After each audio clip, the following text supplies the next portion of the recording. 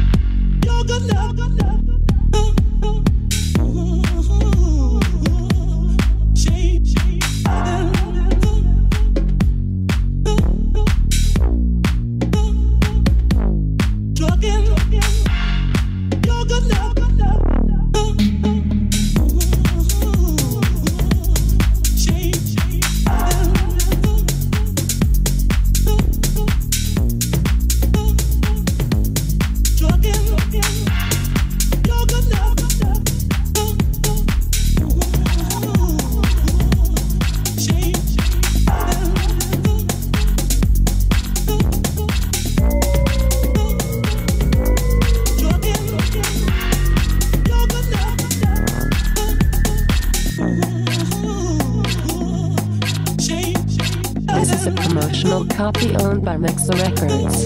Expect a full release soon. Thanks for your support.